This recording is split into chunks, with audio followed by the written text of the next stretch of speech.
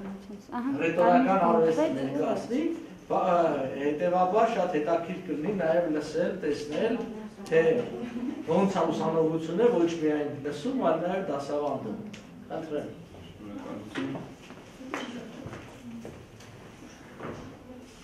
Նախ սկսեմ պատմությունից։ Ռետորական արվեստը սկսել է որպես գիտություն արվեստ զարգանալ 5-րդ դարից սկսած, հանրապետական ավելի շատ են ժողովրդավարական Աթենքում, հետո հանրապետական Հռոմում, Արիստոտելից եւ փիլիսոփաների հայտ գալուց Արիստոտելը զարգացրել է ռետորական արվեստը, սակայն ինչպես Պլատոնն է ասում, դա իրականում ճշմարտության հետ քիչ կապ ունի եւ ռետորը բնավետությամբ մեկը չէ, ով ով գիտի գիտելիք, այլ ընդամենը մարդ ով կարողանում է կարողանում է խոսքի ճարպկությամբ խափել հասարակության ամբողջներին եւ տանել իր ետևից։ Պատմությանը անդրադառնալով հետաքրքիր մի բան կա, միշտ հռետորությունը կիրառվել է, օգտագործվել է այն ժամանակներում, երբ գործ ենք ունենում ժողովրդավարական ինչ-որ սկզբունքների հետ։ Օրինակ ինչ որ մեկը կարող է ինչ որ հայտնի հռետորի անուն օրինակ տալ սկսած քրիստոնեության մուտքից մինչև ամերիկյան պետության ձևավորումը։ Հիսուս Քրիստոսն է հռետոր։ Հետո հետո մինչև ամերիկյան պետության ձևավորումը։ Ես Մուհամեդ առաջ Ցիցերոնի կարող եմ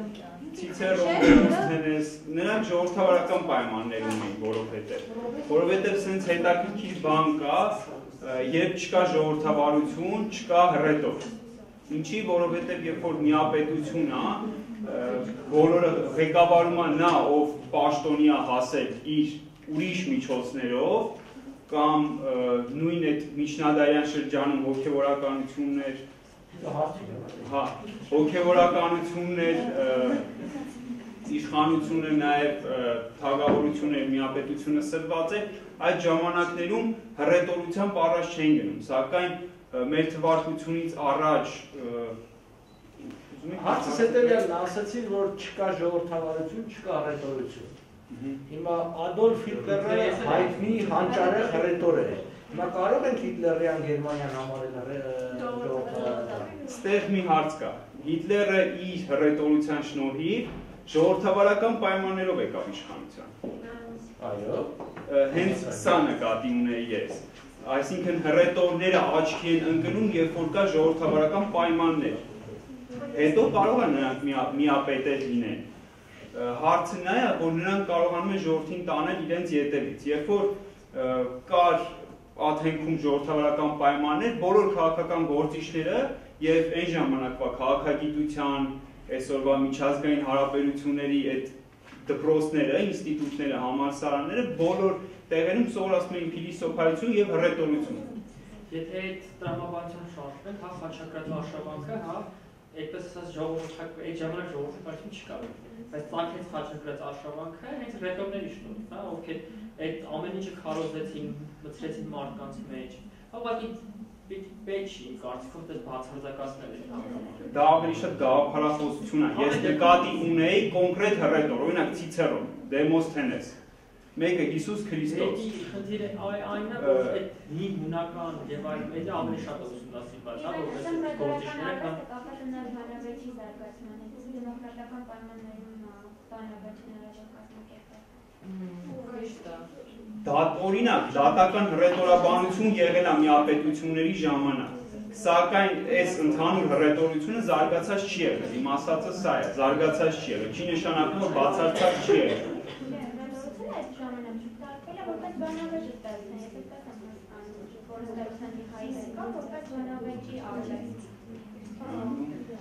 Եվ շարունակելով օրինակ դասական դպրոց համարվում է հենց Դեմոսթենես Ցիցերոն Պլուտարխոսի, եթե չեք կարդացել, խորհուրդ կտայի կարդալ, որտեղ նկարագրվում է թե ինչ ջանքերով են ժամանակին հռետորները պարապում, ասենք, գրքում գրածը թե ինչպես էին մանր քարեր լցնելով բերանում, փորձում խոսել հնարավորինս հստակ կամ վազելով բարձր լեռը մեծ ճնշման գագաթին կանգնած այդ հեվի հև շնչի ներքո փորձում էին խոսել որպեսի ձայնը չդողար եւ նրանք այսպիսի պարապողները բոլորը քաղաքական լուրջ գործիչներ էին իսկ Ցիցերոնի պես հռետորը չկարողացավ ավելի բարձր տեղեր գրավել, որովհետև նրա մրցակիցն էր, այսպես ասած, ժամանակի նաև Ուլիոս Կեսարը, որը ոչ պակաս հռետոր էր եւ նա գումարած ուժեղ զորավար էր, որովհետև հայտնի է, որ Ուլիոս Կեսարը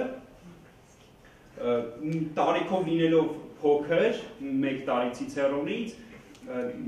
եւ հետապնդման մեջ գտնելով Սուլայի կողմից նա սովորել է նույն ժամանակի ամենահայտնի հռետորական ուսուցիչ Մոլոնի մոտ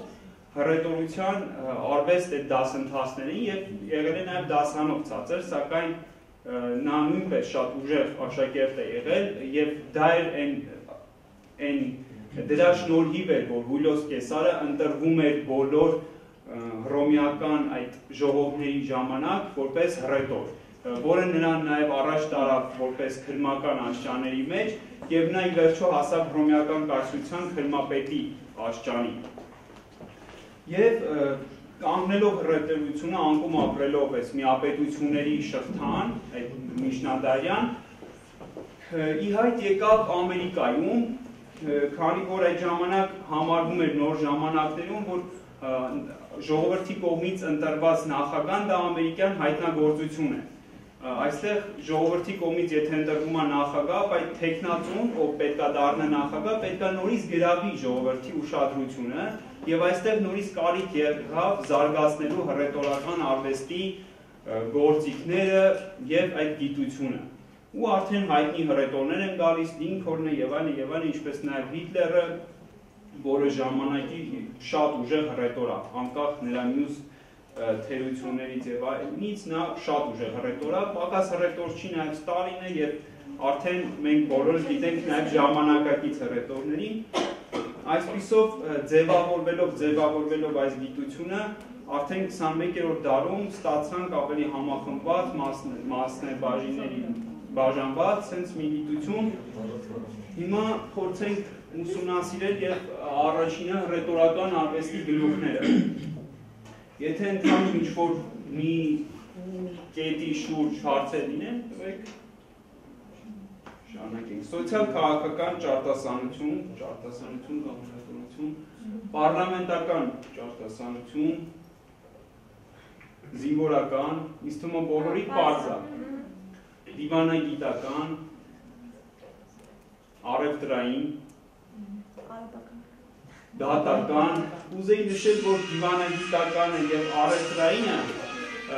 ավելի շատ տարբերվում են մյուսներից իրանց բանակցային տեսակով։ Այստեղ ավելի շատ բանակցություններն են դրված։ Սոցիալ կենցաղային, սա մեր կենցաղային խոսակցականն է, եկեղեցական ճարտասանություն, բոլորից հայտնի է հայտնի հոգևորականների այդ ճառերը, քարոզները, պրոպագանդիստական, այս քարոշչությունը նույն ակադեմիական ճարտասանությունը բաժանվում է երեքի։ Բուն ակադեմիական, բուհական ակադեմիական, դպրոցական ակադեմիական։ Ես կուզեի մի քիչ սոցիալ կենցաղային ճարտասանությունը բացատրել, ինչ է։ Սոցիալ կենցաղայինը դա մեր առօրյա խոսակցականն է։ Մեր շփումները ընկերների հետ, բարեկամների հետ, մեր խոսքի գրավչությունը, էլի, այսպես ասած, կենցաղում, որը շատ բարդ չի, հա, որը շատ բարդ չի իրենից ներկայացնում, որ հասկանան հասարակ մարդիկ, բայց շատ գրավիչ է։ Սա է սոցիալ կենցաղային։ Դատականը ես շատ բարձ չասկացա այդ դատավորների չէ, ես հասկանա պարզ խոսքի եւ ճարտասանության տարբերությունը, որովհետեւ եթե կենցաղային ենք ասում, ուրեմն ասում է ըստ շայնիկը ստուրի ինձ բան մի քիչ, ես չեմ պատկերացնում։ Դե ինչ պատկերացնում եմ, հասկանալի է, չի նաեւ առևտրային։ Նույն ձևով չի նաեւ առևտրային, ես ավելի ուշ պետք է անդրադառնայի, բայց օրինակ հիմա նույնպես նշել, արևտրայինի ու դիվանագիտականի եւ մնացած մյուսների մեկ էլ սոցիալ կենցաղային կարելի է բիզնես ավելի կարելի է առանձնացնել սրանք մյուսներից մի շատ հետաքրքիր բանով բոլոր դեպքերում շատ կարևոր է բարձր ձայնը դիվանագիտականի առևտրայինի մեկ էլ սոցիալ կենցաղայինի դեպքում ամեն ինչ հակառակն է դու ավելի հետաքրքիր ես, երբ որ ունես ցածր ձայն։ Երբ որ խոսում ես մեկ կամ երկու հոգու հետ։ Երբ որ դու կարողանում ես խոսել ցածր ձայնով եւ հետնել տալ ձայնային խոսքի ռեզոնանսներ, այսինքն հավասարաչափ դաթարներ, շեշտադրումը խոսքի։ Հա, եւ հավասարաչափ դաթարներ ցածր խոսքի հետ, դա ավելի շատ նաև տանում է մի ուրիշ գիտություն, որ կոչվում է NLP, որը ներգործող հատկություններ ունի մարդկանց վրա եւ ասենք շատ հայտնի է հատուկ ծառայություններում օգտագործում այդ մեթոդը, որը նաեւ կարեւոր է դիվանագիտականի այդ առևտրայինի ու սոցիալ կենցաղայինի ժամանակ ուղղակի հաճելի է որ դիմացինը խոսա ցածր։ Իսկ մնացած բոլոր դեպքերում շատ կարեւոր է բարձր ձայնը արդեն։ Եւ երկխոսական ճարտասանություն, հատուկ առիթներով ճարտասանություն հատուկ առիթներն է կերպարն է երկխոսականը զուտ երկխոսության մի բան ասեմ, սա մի քանի գրքերից համադրած ինչ որ բան է, ես ինձանից չեմ հորինել ու բանը կուզենայի ասել, որ բոլոր տեղերում է այս 12 կետերը գործում են այսօր հռետորաբանության, հռետորական արվեստ գիտության մեջ, այս 12 գլուխները կան։ Եվ անցնելով առաջ, սկսենք լսարանի բաշխվածությունը արդեն հռետորի խոսքի եւ մնացած հռետորի վրա, էլի, ինչպես է ուշադրություն դարձնում։ Ուրեմն լսարանը ամբողջությամբ առաջի 1-ից 2-3 րոպեների ընթացքում ուշադրություն է դարձնում 60%-ով հռետորի արտաքին տեսքին։ Այսքան, ուրիշ ոչ մի բան հաճախակի սխալ այսպիսի մոտեցում կա, որ 60%-ի մեջ են ներառում նաև ժեստերը, բայց ժեստերը չի մտնում տեսքի մեջ։ Ուղակի տեսքն է 60%-ը, ժեստերը մտնում է ինչպես է նա խոսում, որը գրավում է լսարանի ուշադրության 30%-ը։ Ավելի Սկզբի առաջի 3-4 րոպեների ընթացքն եմ ես ասում, մարդիկա, որ սրանք դոգմա են ընդունում միշտ Բայց հեսա այդ ամեն ինչը կբացատրեմ սկզբի այդ րոպեներին ուշադրություն են դարձնում, ինչպես է նա խոսում, դա ժեստերն են, դա խոսքի ձայնն է, տոնն է, ամեն ամեն ամեն ամեն ինչ է։ Եվ միայն 10%-ով են ուշադրություն դարձնում, թե ինչի մասին է նա խոսում։ Սա դոգմա չի ինչի, որովհետև գնալով սա փոքրանում է։ Երբ որ ինչպես նաև մեկի բացակայության դեպքում մյուս մյուսի տոկոսներն են բարձանում։ Երբ որ հռետորը լավ չի խոսում, ճիշտ է, չեն կարա լսեն ավելի լավ թե ինչի մասին է նա խոսում, բայց երբ որ առաջի 60%-ը չի լինում, երբեմն գալիս է թե ինչպես է նա խոսում եւ դրանից հետո թե ինչա նա խոսում։ 4 րոպեից հետո արդեն լսարանը ավելի շատ ուշադրություն է դարձնում նաև թե ինչի մասին է նա խոսում ու բովանդակությանը։ Ուրեմն անցնենք այդ տեսողական կոնտակտային սկզբունքները։ Երբ որ դուք արդեն հռետոր եք, ինչ որտեղ պետք է ելույթ ունենաք, խոսում եք, կարևոր է, որ դուք ժամանակի մեծ մասը նայեք ունկնդիրների աչքերի մեջ։ Շատ կարևոր մի բան։ Հայացքը սևեռել յուրաքանչյուր ունկնդրի աչքերի վրա երկու վայրկյանից ոչ պակաս։ Դրա վրա անվարժ լինես, սկսես դրա վրա կենտրոնանալ, բուն ասելիքը կմոռանաս։ Այս բոլորն են ցա որ կամած կամած պետքա բոլորի վրա ուշադրություն դարձնել։ Մեծ լսանի դեպքում հայացքը բաշխեն նայելով սկզբից դալիճի ձախ հատվածի առաջին շարքերից մինչև ետևի շարքերը, ապա նույն կերպով դալիճի կենտրոնը եւ աչ մասը։ Պատկերացրեցի, օրինակը, ասեք։ Եթե հակառակը ասենք, որ բան կփոխվի։ Ինչ որ բան չի փոխվի, սա օրինակ է վերած, այսինքն պատկերացրեք։ Սկզբից նայում եք դալիճի այս մեծ դալիճ է ենթադրենք սա, բաժանում եք երեք մասի, առաջի հատվածից խոսելով նայում եք վերջ գալիս, հետո մեջտեղ գալիս եւ աջ հատվածը նույն ձևով։ Դե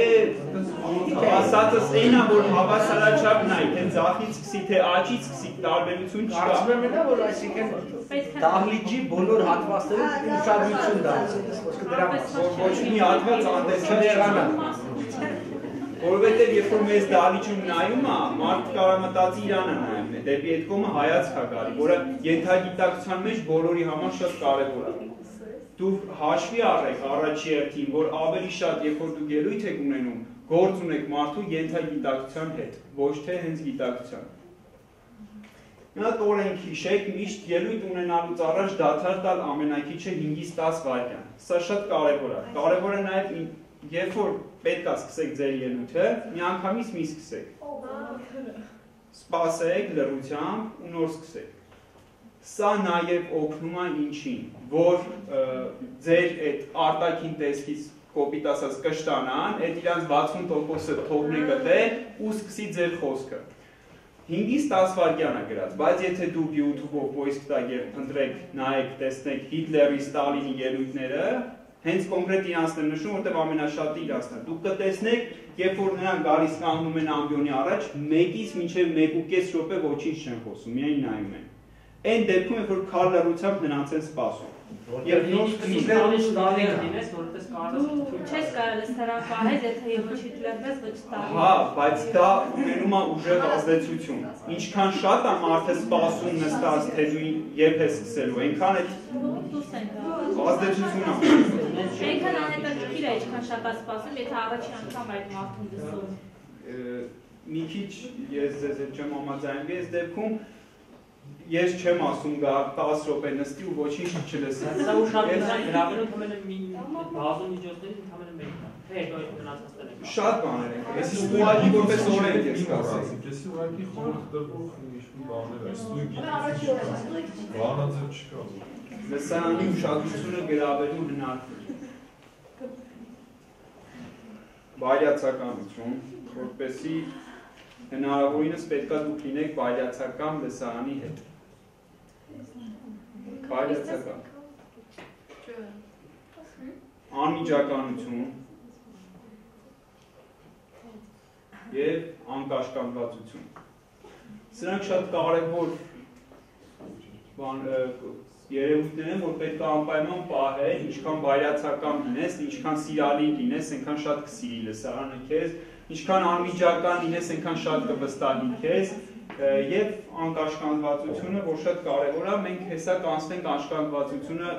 կոտրելու եղանակներին։ Կարծում եմ սա դասախոսին հարմար կետերն էին, բայց ոչ ասենք դες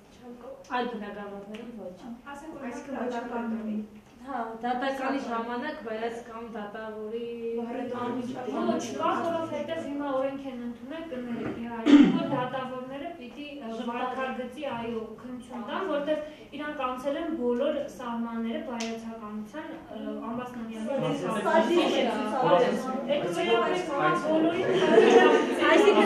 որ դիմելիս Անցել է սահմանները նկատում եք չափից ավելի է։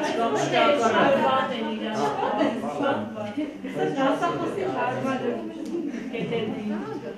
Դե չէ, ինքը ընդհանուր է։ Կարա լինեն կետեր, օրինակ այդ բանակցային ժամանակ ոնց էր ձայնի պատասխան, բայց ընդհանուր ինչքան բայրացականություն ինչքան անմիջականություն, այնքան լավ։ Ով էլ ուզում է ելույթ ունենալ, թե նախագահ, նա, եթե չգիտեմ, կարևոր մարդիկ են, Նախագահը կարա լինի։ Բայացականությունը երևի իմ կարծիքով ոչ թե արտաքին ժեստերով հիմնականում դեպքի արտաքին, բայց խոսքով հենց բովանդակությամբ լսարանի արժեք բայացական լինի, որովհետև եթե վերջ-վերջը կանգնել լսարանի արժեք, պետք է իր տեքստի բովանդակությամբ շոյի այդ լսարանի արտաքինումը զուտ բովանդակային առումով է բայացականությունը, ոչ թե ուրախացրեցի ծախս։ Չէ, բայց ժողովուրդը ինչ է խանգարում։ Հա, ուզում ասեմ, եթե այստեղ է որ խիստ լինեն խստապահանջի կերպար ունենան, ըստ ումա խոսքը բովանդակության մասին։ շարունակենք։ Ուրեմն, պետք է զարգացնել ակտիվ բառապաշար, դրանց մեթոդներից։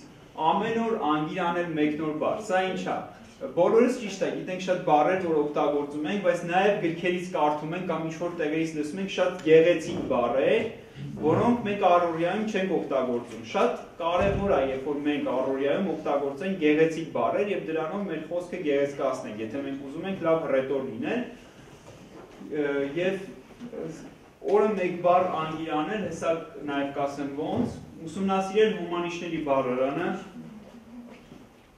կարդալ բարձրաձայն գրքերը, որոնք դուք կարդում եք, պահել մի տետը եւ գրել բոլոր դուր եկած բառերը, արտահայտությունները, նախադասությունները։ Իմիջիայնոց այս խորհուրդը շատ կարևոր է օտար լեզու սովորելուց։ Սովորեք ոչ թե բառերով, այլ արտահայտություններով, այսինքն, որտեղ դա ամենակարևորն է եւ պարբերաբար ընթերցել տետրը բարձրաձայն, իսկ որ ավելի լավ է շարադրել փոքրիկ պատմված օգտագործելով այդ արտահայտությունները։ Սա նույնպես օտար լեզվի ժամանակ այդ պատմված շարադրելը շատ էլի օգնում է։ Եվ նորից գամ այս մեկ բառին, դա ինչ է նշանակում ենթադրենք այսօր ընտրեցիք մի հատ գեղեցիկ բառ, օրինակ ասենք երկբայել, տարակուսել, չգիտեմ, sense ինչ որ մի բան, դուք փորձեք ձեր օրվա ընթացքում խոսակցության ժամանակ 3-ից 4 անգամ դա ինչ որ մեկի հետ խոսալիս օգտագործեք։ Երբ որ դուք այդքան օգտագործեք, արդեն այդ բառը կմնա ձեր մեջ։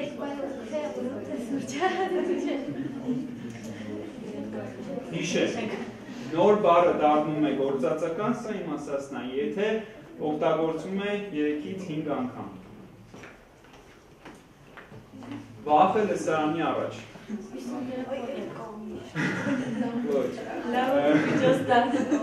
Ուրեմն սենց մի հայտնի տեսություն կա, որ մարդկության 90%-ը վախենում է լսանի առաջ ելույթ ունենալուց, իսկ 10%-ը ճիշտ առաջ տալ արժևն որտեղ ֆիզիկական առումով այդ արջևն է, առաջը ժամանակային առումով։ Հա։ Այս մի բանից առաջ, բայց պատոհանի արջև։ Ու է։ Եվ ուղղակի սարսափում է։ Նաև վախը ընդհանրապես մարդկանց վախերի մեջ հաշվել են, ուրեմն երկրորդ տեղն է գրավում մարդկանց վախը մահից երկրորդը վախենում են հրաապարական ելույթից եւ երրորդը վախենում են ըստ հոգեբանների հաշվարկների աշխատանքից զրկվելու։ Մարդկության այդ վախեն են առաջին երես։ Ասեք։ Բայց 10%-ը վախենում է, 10%-ը սարսափում։ Բայց մարդը չի վախենում։ Չէ, նախ սկզբում միջև առաջի ելույթ ունենալը։ Կա մարդ, որ չի վախենում։ Այսինքն, հեսա ուրեմն իսկ սկզբանե վախ չեք ունեցել երբեք ելույթ։ Այն որ ալկոհոլին դա կանցածում էին ասում էին գմեն պապի նարկասաններ, այդ ոնց է։ Դա դա հասարակական ելույթ է, չէ՞, առաջի հասարակական ելույթ է։ Յանանի բացառություն։ Այդ քաղաքի համար ինչ տեխնիկաներ ինչ բան կարող նշել, որոնք որ կարող են օգնել քեզ։ 50 գրամ։ Ներազնեշնչային շատ տեխնիկաներ կա, որոնք որ սարյալ Հեսա կանդրադառնանք, կամաց կամաց կանդրադառնանք կաշկանդվածության հետ, կաշկանդվածությունից ազատվելու հետ նաև այդ մեխանիզմները կա։ Ու այդ բախից կամ կաշկանդվածությունից ազատվելու մեթոդները իմանացնենք։ Հազար կներեք, դուք կանոնը ասեցիք, բայց դուք հայս կոմ եք նայում, մեզ մի քիչ քիչ եք նայում։ Ես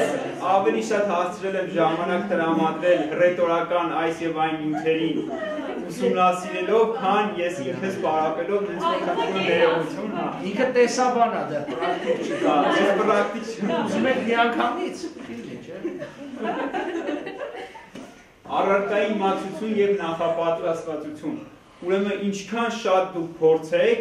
այնքան պատրաստ կլինեք։ Սա այն դեպքն է, որ ամեն մի փորձը անընդհատ օգնելու է ձեզ ինչքան կարող եք շատ պատրաստեք։ Ցանկացած ելույթից առաջ աշխատեք մի շաբաթ առաջ դուք արդեն ունենալ ելույթը մոտավորապես եւ անընդհատ փողոցում քայլելիս տարբեր տեղեր, պարապ ժամանակ մտածել այդ ելույթի մասին։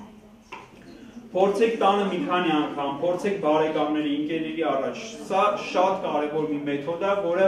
որի ոչինչ չի փոխարինի։ Ամենալավ մեթոդն է թե վախից, թե կաշկանդվածությունից ազատվելու համար մարզվեք հայլու արջեր։ Ով է տեսես վերջերս Facebook-ում դրել էին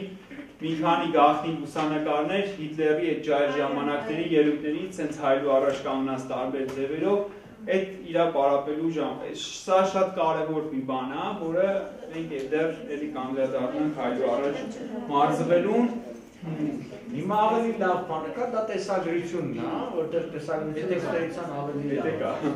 Բայց մենք մենք որ անում ենք մենք մենք մեր ձայնը լսում, տեսագրության միջոցով մի տեսակ Բայց գոնե տեսագրությունը ցույց է տալիս ուրիշը ձեր ձայնը ոնց պիտի լսի։ Որտեղ երբ որ դուք խոսում եք, այդ սխալ ձայն է, դա իսկ ձեզ համար կարևոր է ուրիշը ձեր ձայնը լսի։ Ձայնագրիչով ձայնագրեք ինքներդ ձեզ եւ լսեք ձեր ձայնը որովհետև հենց ձեր ձայնը լսելը արդեն ձեր մոտ կաշկանդվածությունը նվազեցնում է։ Սա շատ կարևոր բան է։ Ինչքան դուք շատ ձեր ձայնը լսեք, նաև դա է օգնելու ձեզ կաշկանդվածությունից ձերբազատվելու, ինչպես նաև արդեն լսած ձեր ձայնը անընդհատ կենթարկի կուղումների։ Ամեն անգամ մի ինչ-որ կետի վրա ուշադրություն դարձնելով երկրորդ նույն ելույթի ժամանակ չեք կրկնի այդ սխալը տեսագրեք ինքներդ ձեզ եւ նայեք։ Այսօր բոլորս համ ունենք մեր հեռախոսներում ձայնագրիչ, համ նաեւ տեսագրիչ, հենց որ սա խնդիր չի, եթե ցանկանում եք անընդհատ ձեր վրա աշխատել, սա շատ լավ մեթոդ է։ Ձայնագրեք եւ տեսագրեք ձեզ եւ նայեք։ Սա նույնպես թե օգնում է ձեզ անընդհատ ձեզ ուղղելու, թե կաշկանդվածությունից ազատվելու հարցնել ծանոթներից եւ հարազատներից, թե ինչպես եք խոսում բացի այս կետից ես սա մի քիչ ավելի երկարացնեմ, խորհուրդ կտա ընդհանրապես այս պարապմունքը ինչ որ մենք այսօր անում ենք, մոտ ձեզ ասեմ, սրա 1 ամսվանը կա, երբ որ շաբաթը 1 է լինում եւ 3 ամսվանը, ընդհանրապես ավելին հենց ուրիշ աշխատանքներ էլ ա գնում, դրա համար կարևոր մի աշխատանք ասեմ, դուք ինքներդ տանը արեք, եթե ցանկանում եք, ուրեմն վերցնում եք տետար, գծում եք մեջտեղից, ցավ կողմի վրա գրում եք իմ իմ 10 առավելությունները եւ իմ 10 թերությունները եւ տալիս եք ձեր ամենահարազատ մարդկանց, որոնք կգրեն այդտեղ ձեր առավելությունները եւ թերությունները։ Երբ որ 2, 3, մի քանի մարդկանց մոտ կկրկնվի նույն դիտողությունը, թե լավ առումով, դուք արդեն կարող եք քիչ աշխատել այդ լավ կողմի վրա եւ աշխատել այն կողմի վրա, որը կկրկնվի մի քանի անգամ, որ մի քանիսը ձեր ընկերներից կնշեն, որ սա ձեզ մոտ թերի է։ Այս մեթոդը ձեզ շատ կօգնի մի քիչ ես կասկածում եմ օբյեկտիվությամբ։ Հատկապես թերությունները նշելու, որտեղ մեր հասարակությունն հասարակություն չէ, էլի որ ընկերդ գրի թերությունները։ Հա, կա, այդ այդ էլ կա, բայց դու պատկերացնում ես մենակ գրես, որ դու լավ չես խոսում։ Վերջացա։ Հետո բացի այդ հավանաբար հայերեն նկատված թերությունը որպես առավելություն Ես շատ բարի եմ եւ դա որպես թերություն է հա գնահատվում շրջապատի մարդիկ ասում շատ բարի է զուլա քո թերությունն է Խոսքը վերաբերում է ռետորական առավելություններին ու թերություններին, այսինքն ձեր խոսակցական եւ այլն եւ այլն։ Այն ձեր ասածայերի կամ նման թերությունների ոչ ժարգոնային բառերի եւ եւ այլն եւ այլն շատ հարազատ մարդիկ հնարավորինս անկես կգրեն։ Ինքնաներշնչում, որի մասին ասում ենք, որը շատ կարևոր է, պետք է ինքնաներշնչման այդ մեթոդները ինքնատ ուրիշ պատմություն է, ուրիշ գիտություն է, իրավեք նաև որպեսի լավ ելույթներ ունենալ, ներքին մենախոսությունների ելույթ աշխատեք փակ սենյակում ձեր ինչ որ տեղերում դուք մենակ ինքներդ ձեր հետ խոսակ, սա շատ է օգնում։ Դա հենց հիմնականում Սոկրատեսն էր օգտագործում ու դա դի ժամանակ էլ այդ հռետորին ասում է, որ եթե դու մենակ ես, այսինքն ինձ հետ կա մարդ, ով վիճում ասում, ավելի նապրում է ինձ հետ վիտան մեջ, ավելի նա ինձ մեջ ապրում ու ես միշտ նրա հետ խոսում ու վիճում եմ։ Այդ ով է ասել։ Սոկրատես ծանր քաշերի այդ աշխատանքի սկզբունքը սա նկատի ունի այն, որ անում եք այն, ինչը ձեր համար բարդ է թվում։ Սա ամեն, եթե թողնենք հռետորությունը, ընդհանրապես ձեր ոգին կամքը կոփելու համար կա սենց բան, ինչը դուք առօրյայում ամենաշատը չեք սիրում, գնացեք դեպի այդ։ նույնը հռետորության մեջ է, էլի, այս սկզբունքը նկատի ունի դա, ինչը որ ձեր համար անտանելի է, անընդհատ փորձեք դա եւ դա կկոտրվի ձեր մեջ։ Խորը շնչառության մեթոդը որքան էլ կարող է դու ասեք, որ այդքան էլ դա տենց չի, բայց ինքը ինչ որ չափով օգնում է, երբ որ դու ելույթի ժամանակ լինում եք հուզված խորը շունչ եք քաշում եւ դա ձեզ հաստատ իր փոքր օգուտը կտա։ Եթե դուք շատ ուզված եք եւ չի օգնում լրի, ապա դա չի նշանակում, ոչինչ չի ասում։ Մի փոքր դրացում ոչ թե խորը շունչ քաշել, այլ կարող խորը շունչ քաշել, քաշել սեր։ Բայց ավելի որ որովայնով բարձրանա, որտեղ ես դա կապեմ ասում են, էլի ոնց խոսես, որ շունչը չկտա։ Հա, ճիշտ է, ես էլ եմ 4-ը երկու հաշվով է, 4 հաշվին շնչում ես եւ իսկ ուսերով չպետք է շնչես։ Հա, ոչ թե Շնորհակալություն։ Ուրեմն այս ամենավերջում ես նկատի ունեի, որ մի քիչ խոսեի թատերական ինստիտուտից որպես ռետորական դպրոցի լավագույն ինստիտուտ այսօր մեր օրերում։ Ես էլ հենց փոքր դասընթացների գնացել եմ դպրոցական տարիներին ու այն ինչ որ այն մեխանիզմները ինչ որ սովորեցնում են այնտեղ, չկա ոչ մի տեղ, դա մի քիչ ուշ կանդադառնա։ Այստեղ թաթերականից մարդ ունենք, թե չունենք։ Ուրեմն ֆիզիկական շարժումները, հա, եւ միջև մյուսին անդրադառնալը ֆիզիկական շարժումները շատ մի կարևոր բան մինչև ժեստերն է սա ուրեմն ֆիզիկական շարժումը գրիչը անընդհատ խաղացնել է բայց սա սխալ շարժում է պետք է ձեր շարժումը լինի արդարացված։ Արդարացված եւ դա ընկալում է ունկնդիրը իր ենթագիտակցության մեջ։ Եթե դուք կատարում եք անարդարացված շարժում, նա ձեզ սկսում է լավ չլսել։ Անարդարացվածը գրիչի հետ խաղալը, որովհետև դա սենց անիմաստ ինչ-որ բան է։ Արդարացվածը, երբ որ դուք դասախոսությունից առայլ ձեր մոտ կա գիրք ու դուք ինչ-որ բան եք փնտրում։ Դրանով այդ շարժումներով դուք օգնում եք ձեզ հուզմունքից ձերբազատվելու եւ դա արդարացված է լինում։ Նաեւ արդարացված է, երբ որ ասում եք մի քիչ շոկ չի ու sense պատուհանն եք բացում, նման բաները։ Ինչպես նաեւ կան աննկատ թաքցված շարժումներ, որոնք նույնպես օգնում են հուզմունքից ազատվելու համար։ Դա օրինակ կոշիկի մեջ բուտմատը շարժել է եւ որ ոչ մեկ չտեսնի կամ այնպիսի շարժումներ անել, որ չի երևում եւ դրանով դուք ձեզ փորձում եք հանգստացնել մի բան էլ ուղղակի հավիլ է մեր շարժումն ավելորդ շարժումների հետ կապված իրերի երբ որ դու օրինակ քիչ է շարժում բոլոր ուշադրությունը քիչի վրա է գալու այսինքն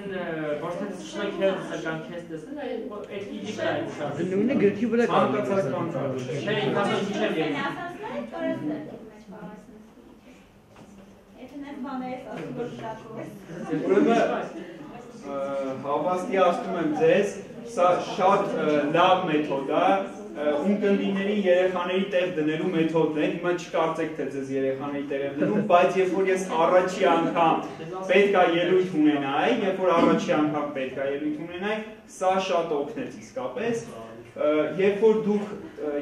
ունկնդիրներին չեք մոռանում եք, թե նրանք իրականում ովքեր են, դուք ձեր խոսքը կասի նրանց, թե դուք ով եք բայց դուք ձեզ ներշնչում եք, որ հիմա ում առաջ որ պետք է ելույթ ունենաք, նրանք երեխաներ են եւ ձեր ենթականերն են, դուք ընդհանրապես մտածելու բան չունեք, դուք պետք է գաք հանգիստ խոսակ, բոլորն է շատ հետաքրքրված լսելու են ձեզ։ Այս ձեզ ներշնչելու այս տարբերակով մեթոդը կօգնի ձեզ որպեսի ձերբազատվեք կաշկանդվածությունից։ Եթե այդ բանի մեկը մի հատ սուր հարց է տալիս ու ամբողջը քալում։ Բանավեճա ու ասում ես արածի տեսք գնաց որպես բանավեճի Դե բանավեճի համար ուրիշ արդեն պատրաստվածությամբ բանավեճի ժամանակ չես կարա երեխայի տեղ դրես։ Երբ որ դու ուներում ես ելույթ, ճա, որտեղ պետքա քեզ լսեն, անգամ հրաապարական ելույթների ժամանակ հարցերը չեն տարի։ Այդ ժամանակ հրաապարական ելույթների ժամանակ։ Միտինգներին ով է տեսել հարցեր տա։ մեկը այն առաջի կանգնած Գորում են, բայց բայց մեկը տեքստն են արդիկ ասում։ Նենց որ ինքը կիրառելի է։ Հովանես, ասեք, դու ասեցիք, բայց դալիքին չես տա, մտեղ երկու հոգի ծերեր Այ կներեք, ասեք։ Ես այստեղ մի բան է ուզում ճիշտ ասած հավելել ու կարծում եմ որ այդ բոլոր կետերը կարելի է դնել մի կողմ մենակ այդ կետը ներառել NLP-ի ուսումնասիրությունը NLP կարծում եմ այն գիտությունն է, որը հենց ռետորական արվեստի մեջ ու հարաբերս խոսքի մեջ շատ կարևոր ազդեցություն ունի։ Օրինակ լրագրողներն անցնում են, չգիտեմ, մոդելում որտեղ, բայց ինչպես բայց գիտությունների ակադեմիայում գիտեմ որ անցնում է լրագրողներն NLP ու ճիշտ ասած կուզեի իմանալ դատավորների կամ ասենք այլ մասնագիտություններ ունեցող մարդկանց մոտ NLP-ին բուհերում ինչպես է դասավանդվում, եթե մեկ նման ինֆորմացիա։ Հա, նախ NLP-ն ռետորական արվեստից տարբերվում է ինքը շատ շատ շատ NLP-ն դա կարող եմ համառոտ ներկայացնել ինչ է, NLP-ն դա այն է, երբ որ դու դիմացինիդ կամ լսարանին կարողանում ես գիպնոզի ենթարկել նրա գիտակ նրա գիտակցության արկայության ժամանակ առանց քնեցնելու երբ որ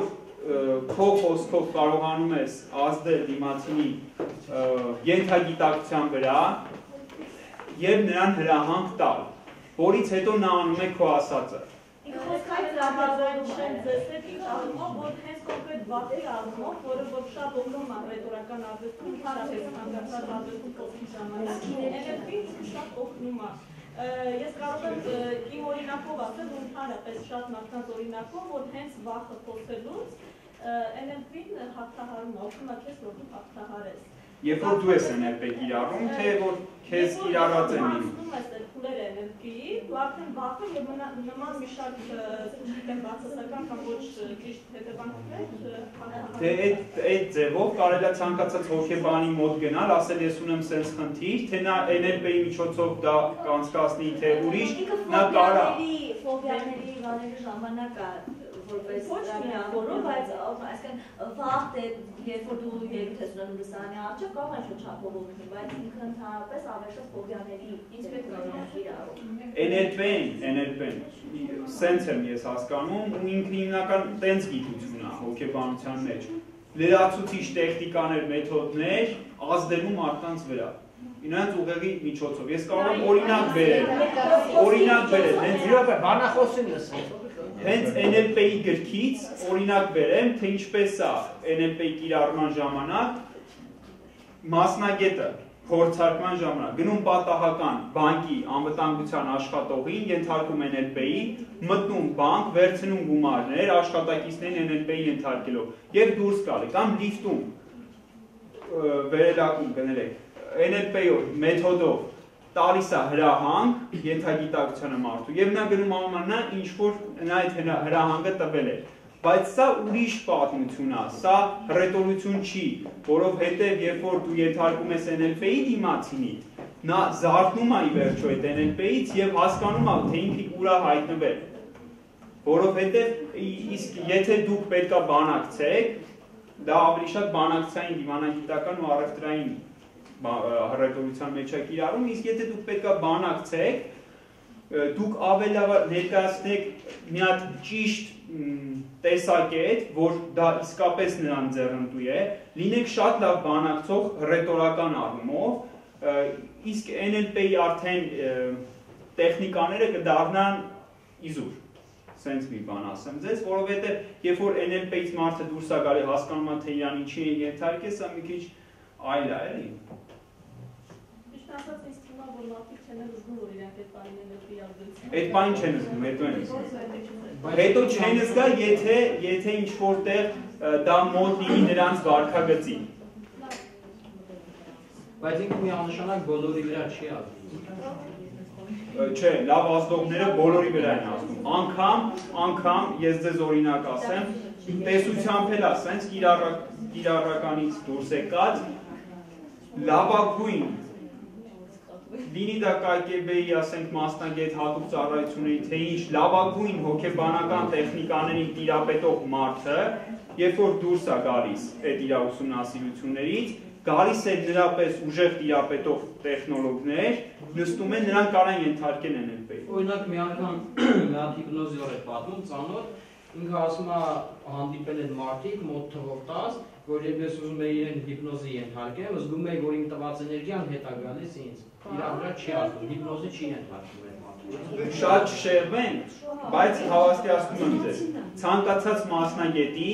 այլ մասնագետները կարող են ենթարկել, որտեղ սա անընդհատ զարգացող գիտություն է։ Եվ անդրադառնալով հռետորությանը, այլ հարցեր կար։ Ոչ։ Վստահության եւ անվստահության նշաններ։ Տեսողական։ Կեցվածքը ուղիղ է անվստահության նշանը, երբ որ կեցվածքը ուղիղ չէ։ Դեմքի արտահայտությունը վստահ է։ Դեմքի արտահայտությունը անվստահ է։ Անվստահությունը հայացքը ուղիղ է, հայացքը թռվում է։ Ժեստերը ենթարկվում են խոսքին։ Ժեստերը չեն համապատասխանում խոսքին։ Իմիջիալը որովհետև օրինակ լինում է, երբ որ նայում ենք թեկուս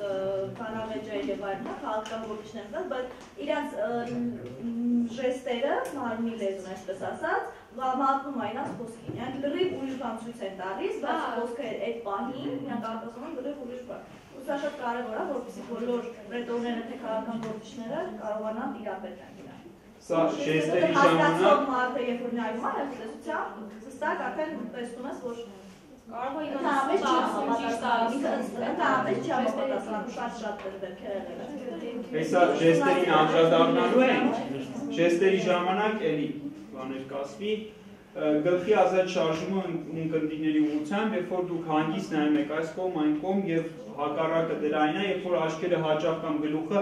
սենց ինչ որ անհանգստությունից այս կողմ այն կողմ են գնում, ինչ որ բաներ են որոնում, սա անհանգստության նշան է որ պետք է ուշադրություն դարձնեք որնա թերին, որնա դրականը, որպեսի կարողանաք պարապել եւ հասցնել այս կետերի բավարարմանը ձեր մոտ։ Վստահության եւ անվստահության նշանները լսողական։ Տոնը վստահ է երանդուն գործնական։ Տոնը դողդողում է կամ կմացող արկա է խնդրողական ինտոնացիա, որը շատ բացասական երևույթ է։ Խնդրում եմ ուշադրություն դարձնեք այդ խնդրողական ինտոնացիային ավելորդ դաթարների, կակազումների ռնգայնության բացակայություն։ Արկա է ռնգայնություն, այդ երը, ը-ը, հնչյունները։ Եվ ձայնը բավականաչափ բարձր է ու վստահ։ Սա հրաապարակայինի, ինչպես ասացի։ Բանակցայինինը հակառակն է։ Ձայնը շատ ցածր է մարվող։ Մարվող չպետք է լինի, բայց ցածր պետք է լինի բանակցության դեպքում։ Բայց վստահ։ Բայց վստահ վստահության եւ անվստահության նշաններ կինետիկ նշանակումա ֆիզիկական, շարժողական, գործողության մեջ միանշանակություն։ Նախ որոշեցի, հետո արեցի։ Սա ի՞նչ է նշանակում։ Երբ որ դուք հասարակ մի բան, գրիչը թեկուզ անարթարացի վերցնում ու դնում եք ստեղ, պետքա դա լինի միանշանակ, այսինքն դիմացինը տեսնի, որ դա դուք որոշեցիք ու նոր արեցիք, այդ վստահ գործողությունները։ Դա ֆիզիկական, ձեռքի եւ մնացած գործողությունները միանշանակ չեն, մշտական պատանումներ, վարանումներ, այստեղ դնեմ, թե այնտեղ մենա, այս վիճակն է, պատկերացրեցի հուսով։ Խոսքի թերություններ, անցնենք այս մյուս գլխի մոլախոտ բարեր։ Դրանք են։ Ավելոր բարերը։ Ուրեմն, ձեզ շատ հաճախ թվա թե սա նորմալ է, բայց երբ որ ինքը գայս է բարի սկզբում շատ սխալ է նախադասություն։ Ոնց ասած։ Ոնց որ օրինակ, երբ որ օրինակով եք սկսում նախադասությունը, բայց ի՞նչն եք օրինակ դնում։ Ասենք։ Ինքը մոնախոս բառեր նախադասության սկզբի հա։ Չէ, ընդհանուր ասենք ինչ դա օրինակ։ Ունի այս բառերը որ նախադասության ինչ դեպի ինչ ժամանակին օգտագործվում Կլինի, բայց այդ երկուսը հիմնականում ստեղ մոլախոտ բառերն են նշված։ Խոսքի, սա բոլոր դեպքերում բոլոր դեպքերում մոլախոտ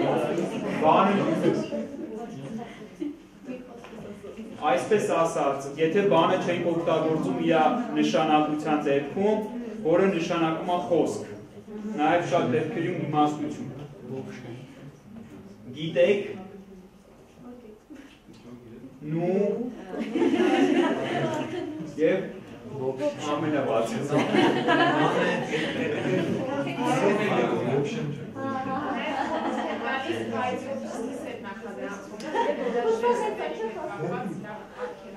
Բայցի համար հա, բայցի համար կապ չունի ստեյետ, բայց բայց բառը ես շատ հա սիրում եմ, չէ, բայցը միշտ պետք է դնել խոսքից առաջ, խոսքից հետո, խոսքից հետո,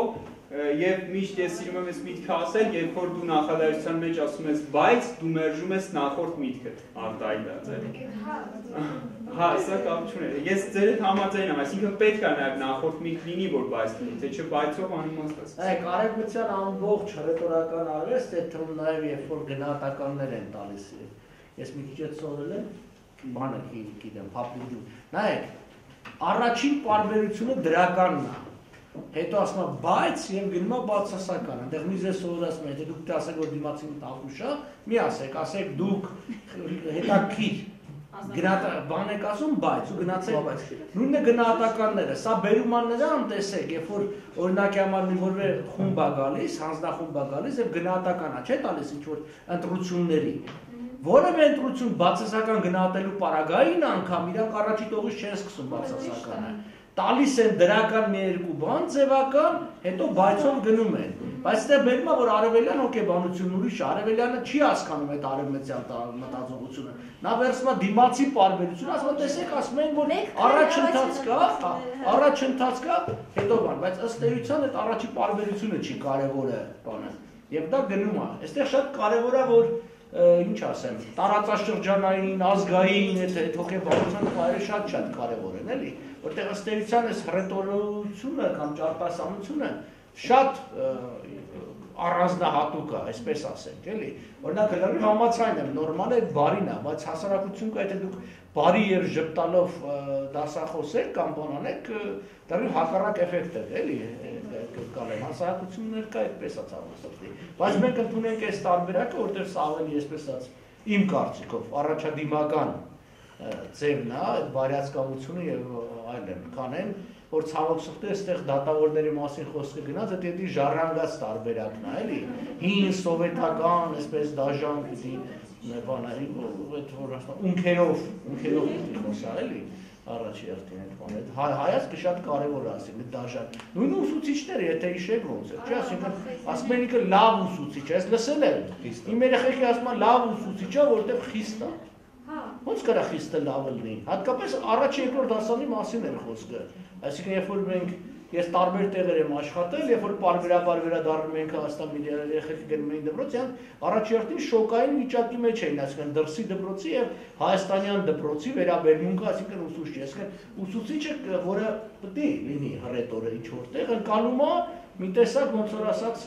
այդ ենթակայի, ոչ թե գործընկերոջ, այլ ենթակայի խնդիրը կա։ Այստեղ հակառակն է չէ,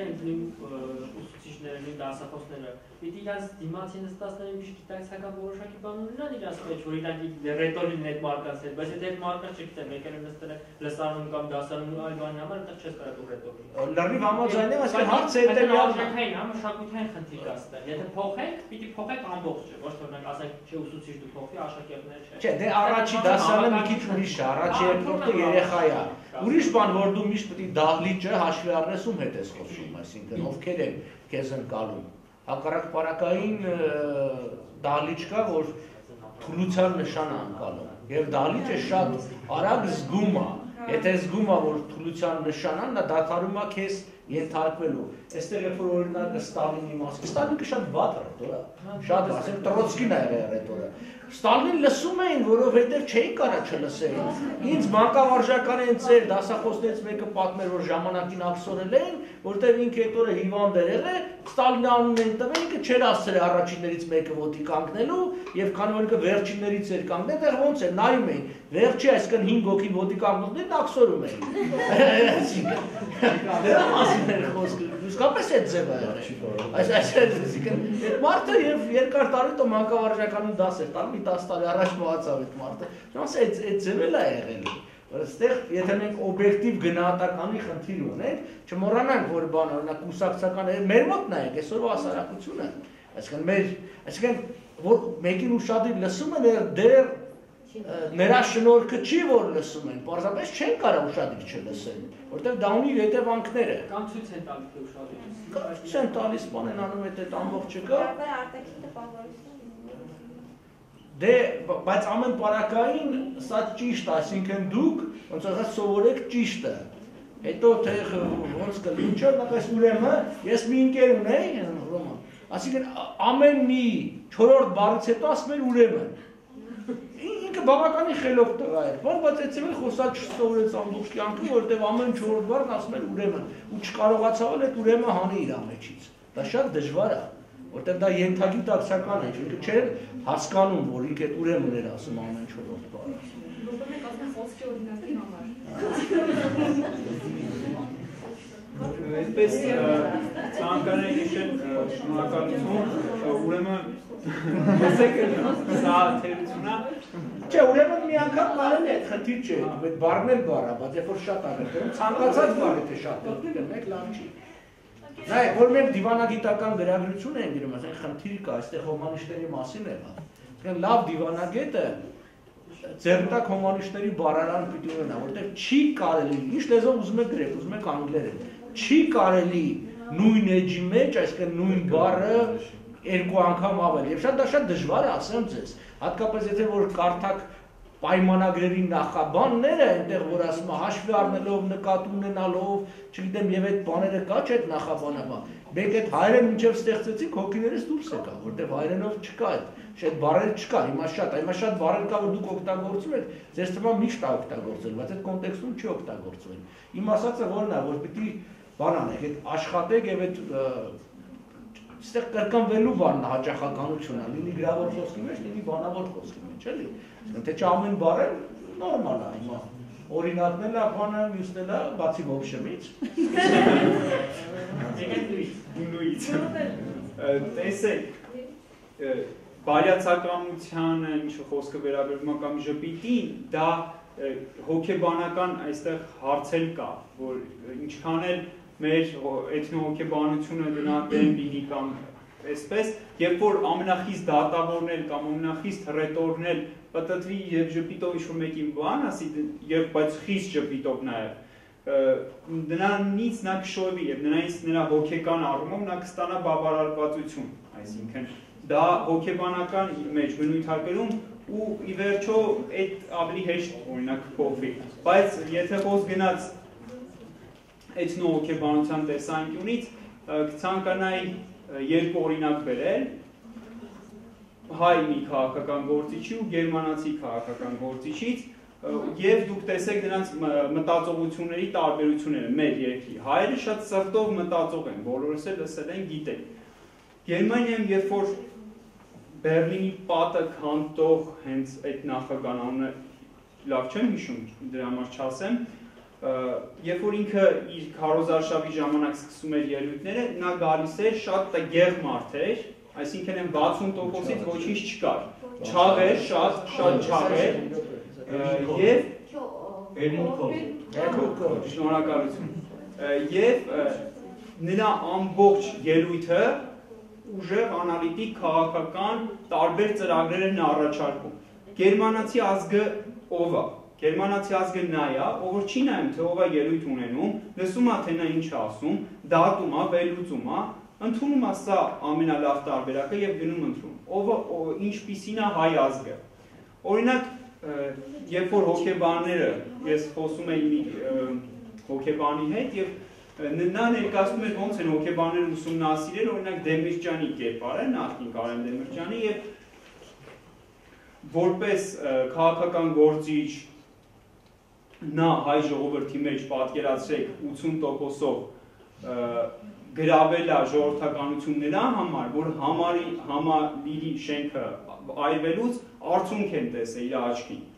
Այսինքն նա հուզվում է ամենասկզբից ինքը գրավել է իր բոյով։ Ինչես չէ՞ շիշում։ Հա, կանայք ասում են բոյով բուսատոր վարդ է։ Չէ, դա լուրջ բան է։ Եթե նայեք ամերիկյան վերջին նախագահներից որևէ մեկը 1.80-ից ցածր բոյ չունի։ Եթե 1.80-ից բոյ ցածր է, ինքը շանս չունի անցնել։ Կանանց 50% ընդգում է բոյով։ Այսինքն կարևոր է։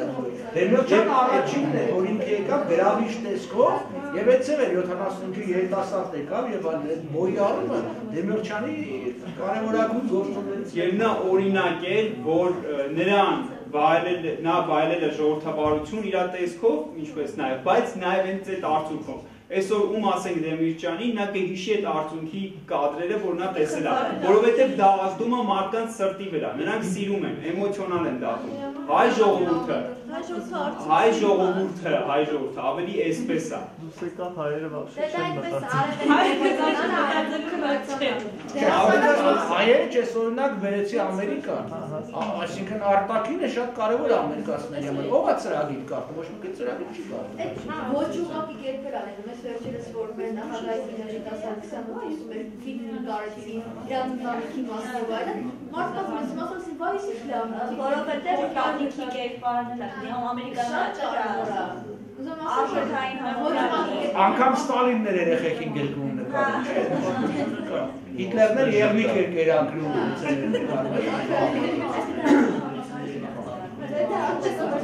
Եվ շարունակենք խոսքի թերությունները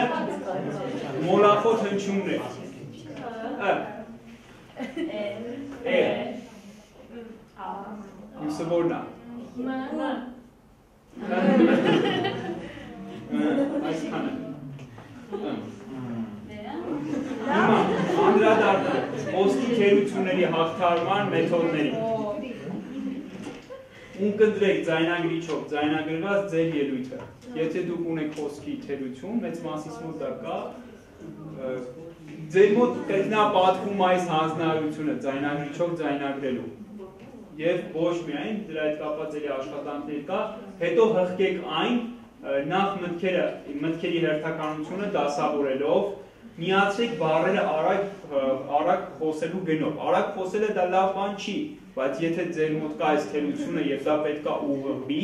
նախ եւ առաջ դուք սկսեք արագ խոսել, այսինքն բառը բառի հետևից դնում եք շատ արագ որպեսի այդ արանքում հնարավորություն չունենաք հնչյուն արտահայտելու։ Այդ արագ խոսակ նաև կարող է նոտարվայզով ասում ակցենտ ունես, արագ-արագ խոսում որ ակցենտը շատ չկա։ Եթե արագ չես, լացի։ Արագ, չէ, բառերը դնում ես իրար հետևի շատ արագ։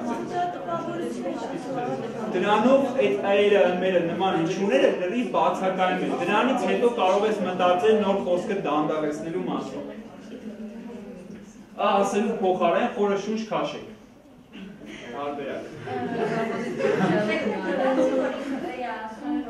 Միշտ պետք է այդտեղեք ձեր խոսքին։ Խնդրեք ձեր ծանոթներին ու վել ձեզ մտքում կրկնեք ձեր դիմացինի խոսքի հենց նրա խոսելու ընթացքում նրա դիմացինի խոսքը հենց նրա խոսելու ընթացքում եւ բացարձակ նույնությամբ, բայց դուք ունեք մի ճանաչում եք ինչ որ ձեր շրջապատում հռետորի ում խոսքը դուք սիրում եք ցանկացած մարդու լրագրող կարա դա լինի քաղաքական գործիչ դասախոս սա նկատի այս կետը միայն ենթադրում է որ դուք նրան եք լսում նրա միտքը նրա խոսքը կրկնում ձեր մեջ որը լավ անդրադառնում բայց կարող եք շատերին լսել ձեր մտքում կրկնել նրա ասած բառերը եւ նրա այդ թերությունները ուղղել սա նույնպես մեթոդ է որը ուղղում է Իսկ ինչով է պայմանավորվում այդ տարերի արտասանությունը։ Օրինակ ես իմ խոսակցականի մեջ բացարձակ չեմ օգտագործում նմանատիպ տարեր, խոսում եմ ավելի շատ հստակ, ու միշտ հետաքրքրել է ինչով է պայմանավորվում։ Լարվածությունից զրուցը։ Ոչ բոլոր դեպքերում, ոչ բոլոր դեպքերում։ Կա լարվածության, երբ որ դուք, եթե դուք լարված լինեք,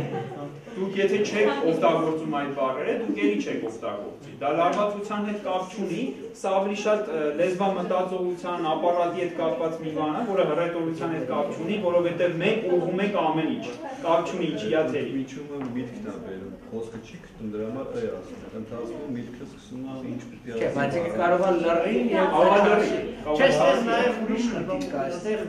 տարբեր բարբարների մեջ, տարբեր բարբարների մեջ այդ բանը կա, որ օրինակ համար է, գնում եմ է, ասենք այդ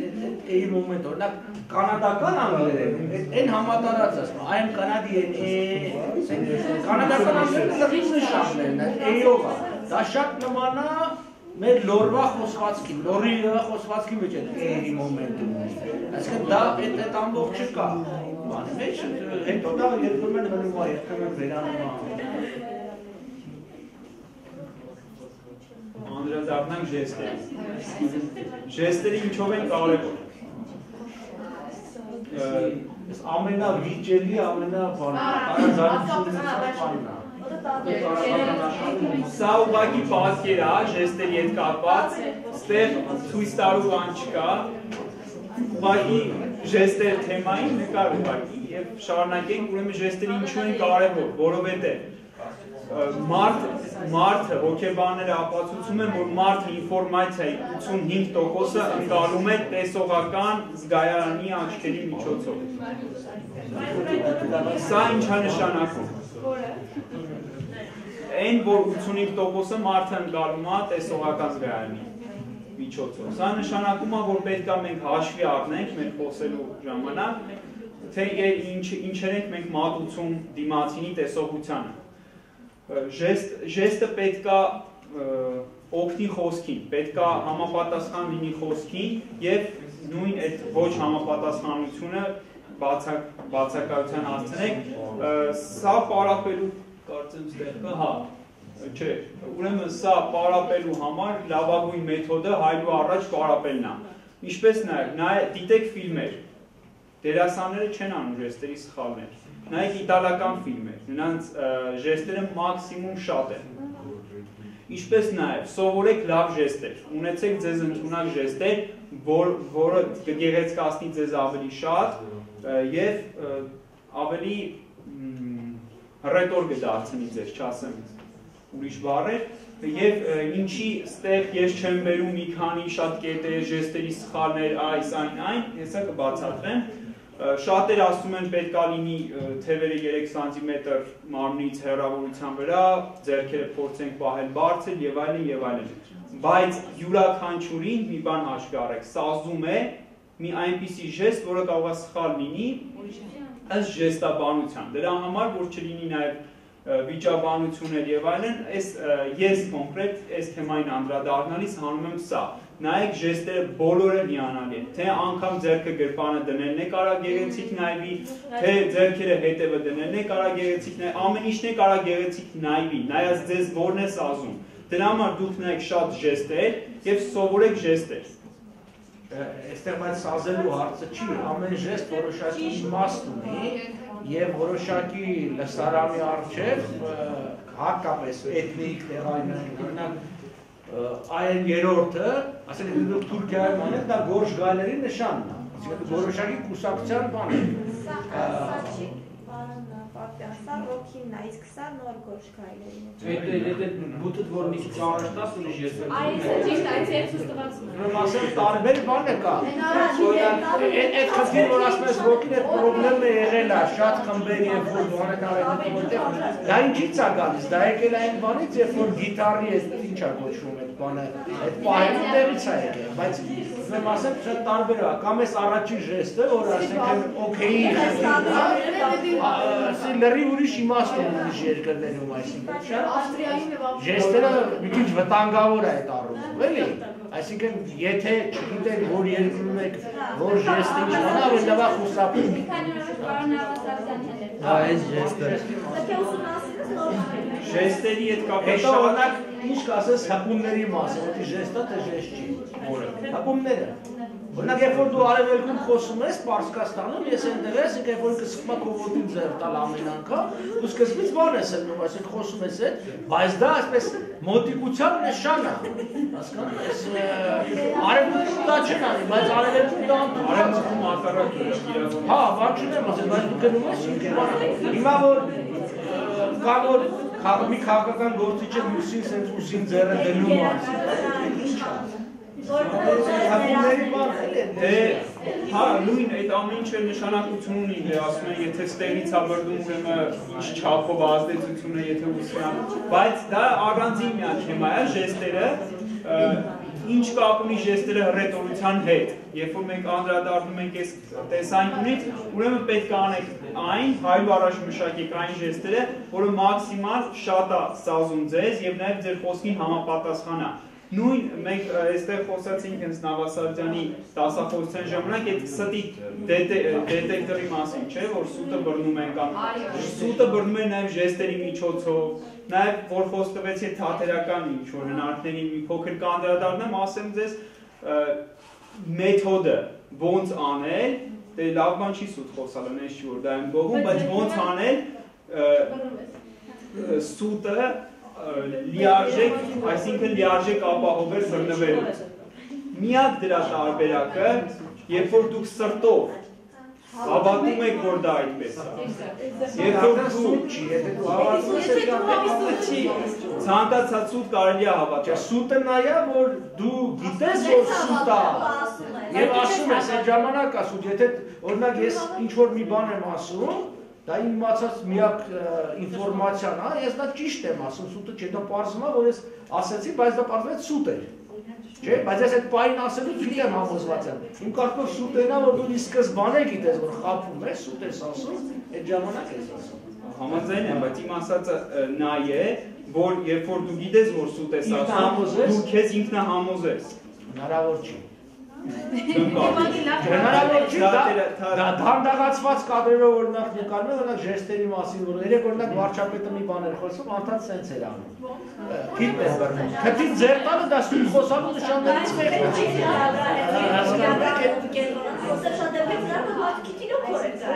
այո բայց մենք իջացած այստեղ ժեստերի բառարան ունենք ով որ որպեսզի օրանա Իսկ որ ժեստի չա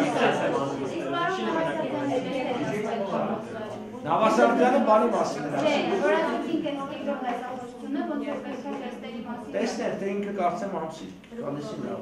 Երկու շաբաթ։ Չէ, 6-ին, ամսի 6-ին։ Էլա շարունակի, որտեղ նրանց 15 րոպե։ Ժեստերի տեսակները։ Ռիթմիկ ժեստեր, նկարագրողական կամ պատկերավոր ժեստեր,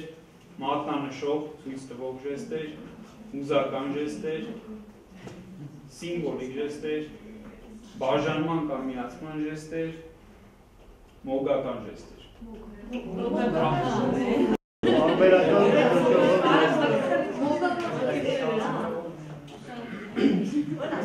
Դա մոգություն անողներից պետք է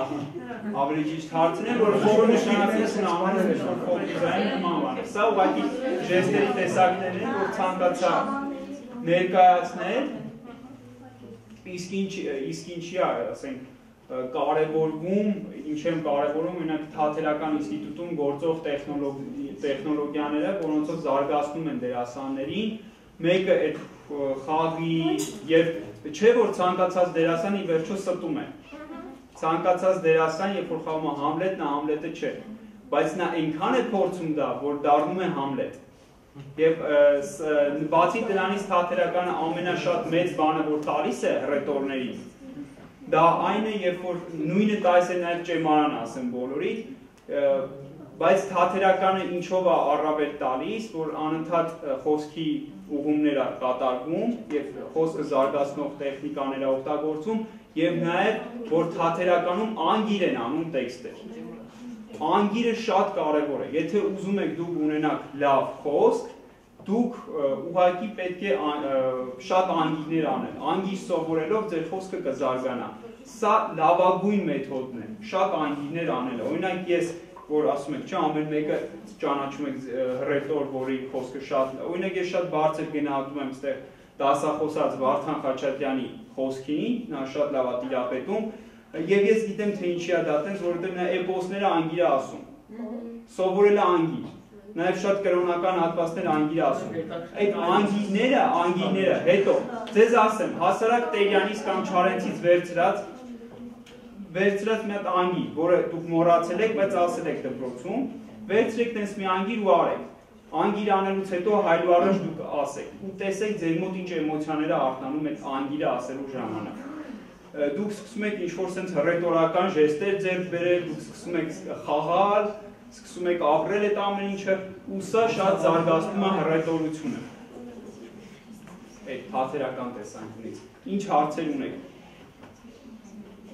մի քանի հետաքրքիր օրինակ ուղղակի բերեմ ընթացքում ամբողջ լեկցիայի, որ արդյունքի մասին Դեմիրճյանի ասեցիր, հետաքրքիր եթե տեսնեք, որ Պուտինը այս վերջին անգամ դրվեց, ինքն էլ ամբողջ այդ ոչինչ ինքն էլ Դա չէ, իրականում ինքը գերի կազմակերպված է, ազդեցել գործելու համար Մյուս բանը, որ ուզում եի ասել, այդ վիզուալ ազդեցության վրա, որ մարդը ենթագիտակցության վրա վիզուալ տեսքը ազդեցնավորում հայ քաղաքական իրականության մեջ լավագույն օրինակը Արտուր Բաղդասարյանն է հետազոտություններ ցույց են տալի, որ ինքը երբ որ տեխնացիան դե ձայները հավաքել է զուտ վիզուալ տեսքի համար։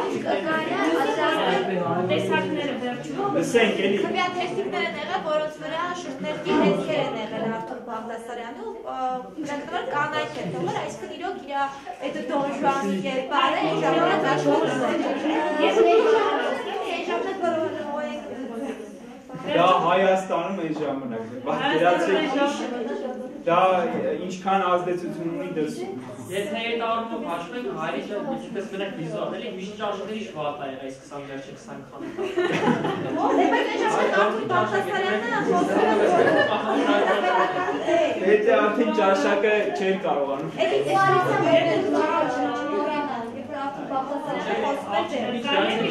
լսենք էլի։ Եվ վերջինը այդ ռիթմիկ տեսակի եթե մարդկան տեսնել ովքեր սնասում Բարակ Օբամայի քաղաքական կերպարը, իր քայլվածքը շատ ռիթմիկ է, ինքը այդ նեգրական երաժշտության ռիթմերով է քայլում։ Միշտ ցանկացած, երբ որ նույնիսկ օթանավից այժմ բոլոր ուսումնասիրությունները զգանում, որ միշտ ռիթմերով է քայլում։ Այսօր հետո բոլոր սենատորները հայտնի կա այդ ինֆորմացիան, ասում են պարապում են հատուկ ռետորական արվեստ սենատոր լինելու համար։ Երբ որ ընտրվում են, նրանք գնում են կուրսերի, որտեղ այդ հաթերականի մակարդակի պարապում են նրանց հետ։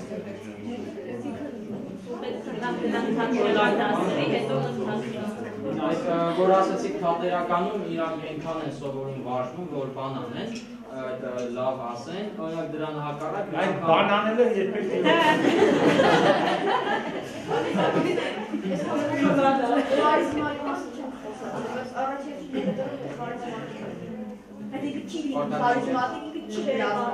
Բայց կարելի է արդյոք ստեղծել խարիզմա։ Դա Ձերքաբերում այն բոլոր մեթոդներով, որ մենք այստեղ ներկայացրեցինք։ Խարիզմա կապոնական նշանակում է կազմածատու։ Բոլոր ռետորները արդեն իրան ուրեմն արդեն շահում են։ Ուրեմն խարիզմայի